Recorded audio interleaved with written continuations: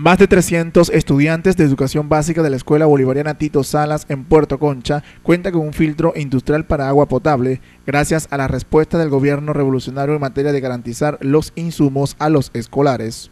Donde tenemos la cantidad de una población escolar de 350 alumnos entre iniciar y, primera, segunda etapa de la escuela básica. Con mucho cariño de parte del gobierno bolivariano traemos aquí un filtro que tiene cuatro, cuatro tomas con el fin de facilitarle el aprendizaje a los muchachos. Esto viene a, contribuir para que tengan su agüita fría.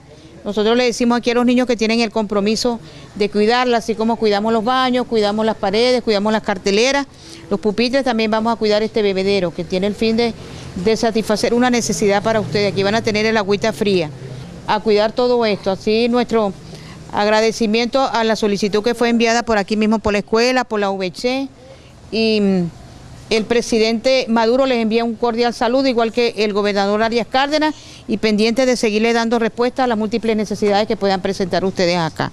Un fuerte aplauso, pues. Estamos agradecidos con la alcaldesa María Malpica, este, en nombre del colectivo de la Escuela Bolivariana Tito Salas. Le agradecemos grandemente, profesora, que usted se aboque a las instituciones a dar solución a las problemáticas que, tienen. Mil gracias. El canto es la mejor expresión de agradecimiento que los estudiantes ofrecieron a la alcaldesa María Malpica. Y me quedé complacida, fue lo que llena de emoción.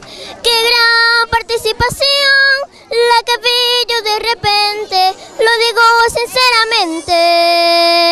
Se grabó en mi corazón, por eso quiero un montón volver a ver a su gente. Recuerdo en particular esa tarde tan hermosa cuando llegué a Puerto Concha para el lago visitar. Con gran orgullo zuliano porque se extienden la mano. Para el Sistema Colonés de Medios Públicos, Albeiro Arismendi.